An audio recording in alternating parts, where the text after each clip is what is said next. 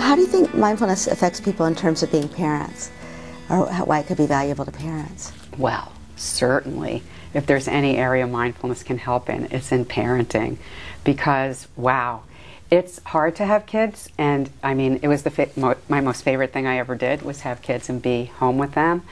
It's a lot of work, and um, that's why in the olden days people had kids when they were 20, because that's how much energy you need with them. But as we are more aging parents, and I didn't have my first child till I was 30, you know, um, it, t- it requires a lot of patience. So what mindfulness does is allows us to be more patient with our children more present with them.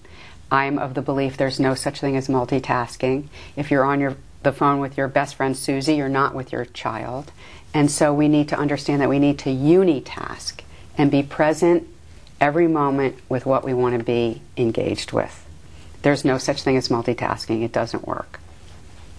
So I think that mindfulness helps us become better parents by having us be in the here and now with our child and they know, they know, know, know whether we're paying attention or not. And so, for example, with, with my kids, I would say, and they'd be like, Mommy, Mommy, Mommy. And I'd say, One minute, I'm on the phone with Joe. I'm going to hang up with him. I want to hear every word you're saying. I don't want to miss a word. So hold on one second. I'm going to get off the phone. I'm going to be with you. That's fine with them, you know, because then they know they have you and they, they're with you.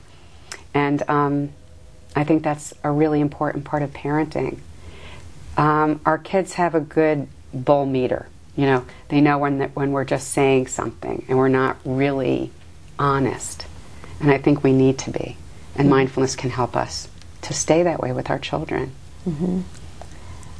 Jon Kabat-Zinn is fond of saying that children are an 18 year retreat into mindfulness. I mean, if you really are present and more as parents. You know, I, I um, read um, the Prophet, Kahlil Gibran's The Prophet. There's a poem in there called The Children. And um, I read it when I was 14, and somehow I just knew that this was the blueprint for how to parent. And the notion was that our children aren't ours, you know. They come through us, but they're not of us. And um, we need to be like bows that bend as they're the arrows that shoot forth. And it is. I would say to my kids, I only have 18 years to get this through your head, you know. And we would talk about a lot of things. I wanted to make sure they knew how to sew on a button, iron a shirt, you know, these very important things of life. So, um, presence with them is very important.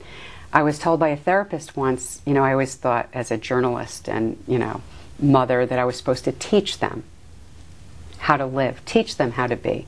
But the truth, number one, is that they're always teaching us. And number two, a therapist told me when your kids get home from school, go downstairs in their room and sit there for 45 minutes and just listen. Listen to their day, listen to everything they have to say. Don't teach them anything, just listen and be present.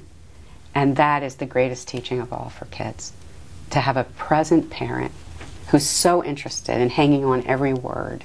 That's mindfulness, that's mindful parenting.